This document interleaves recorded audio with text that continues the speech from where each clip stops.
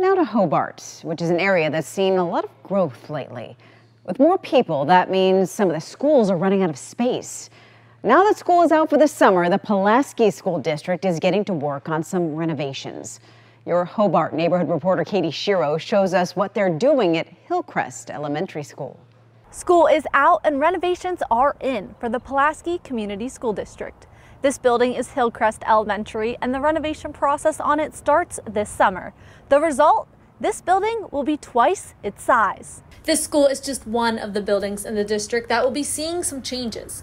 Hillcrest Elementary Principal Chris Wells says the renovations are long overdue because the school is growing.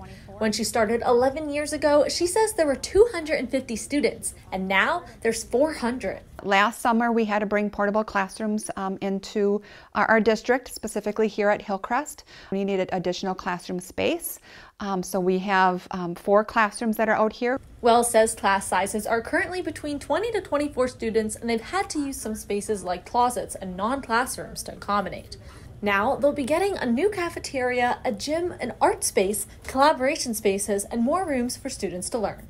District Superintendent Allison Space says teacher and staff input was also a big factor in renovation decisions. It was important that we had all those voices that were in the beginning of this process, even during the referendum, we were asking and getting feedback from our teachers what really is working well for them now and what do they need to make things take it to the next level. Space says another elementary school and the high school will also be getting renovated.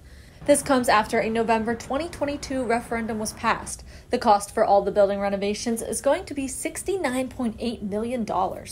Wells says the last time they did renovations at Hillcrest was 30 years ago, so she's looking forward to a new chapter. Having a space for all students um, and staff to be able to work with kids, allowing our students those opportunities to have collaboration areas to be able to kind of have that new technology. Most of the renovations will be finished summer of 2024.